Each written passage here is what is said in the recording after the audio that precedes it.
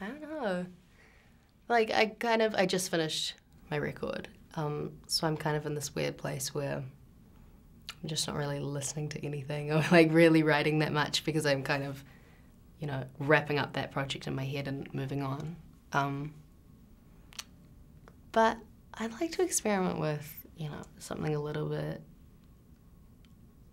outside of what I've been doing, which is, you know, electronic pop for sure.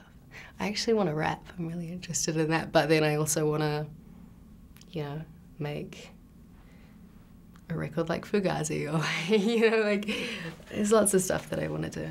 Um, and I want to experiment with just instrumental music as well. Um, you know, because I love making beats and stuff. So we'll see.